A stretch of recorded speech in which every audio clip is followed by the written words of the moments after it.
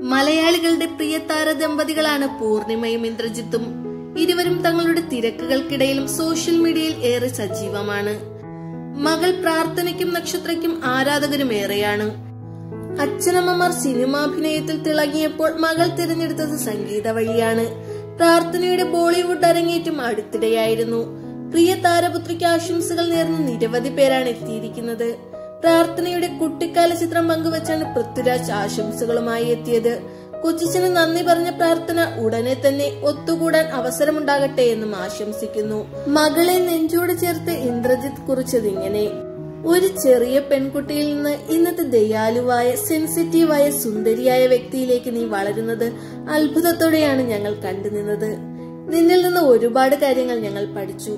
സംഗീതവും നിഷ്കളങ്കതയും സജീവമായി തന്നെ നിലനിർത്തുക. പൂർണിമയും മകൾക്ക് ആശംസകൾ നേർന്നെത്തിയിരുന്നു. ഞങ്ങളുടെ ജീവിതത്തിലെ ഏറ്റവും മധുരമുള്ള പതിനാറ് വർഷങ്ങൾ സമ്മാനിച്ച എന്റെ സുന്ദരി മോൾക്ക് ആശംസകൾ എന്നാണ് പൂർണിമ നേർന്നത്. ഗീതു മോഹൻദാസ് പൂർണിമയുടെ സഹോദരി പ്രിയ മോഹൻ തുടങ്ങി നിരവധി പേർ പ്രിയപ്പെട്ട പാത്തുവിന് ബർത്ത്ഡേ വിഷുമായി എത്തിയിരുന്നു.